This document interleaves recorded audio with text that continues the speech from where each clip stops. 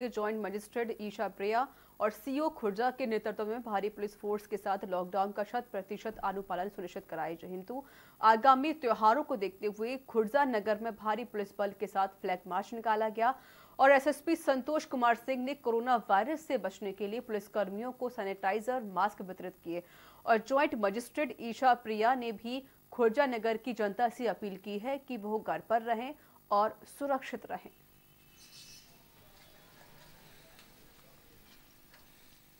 देखिए, आज खुर्जा में जॉइंट मजिस्ट्रेट खुर्जा और सीओ खुर्जा के नेतृत्व में एक निकाला गया है पुलिस फोर्स का फ्लैग मार्च।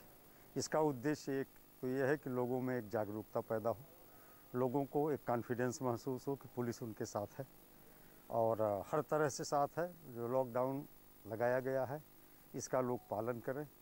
लोगों में एक संवेदना बनी रहे और उन्हें महसूस होता रहे कि उनके लिए पुलिस फोर्स पूरे दमखम के साथ हर स्तर पर तत्पर है।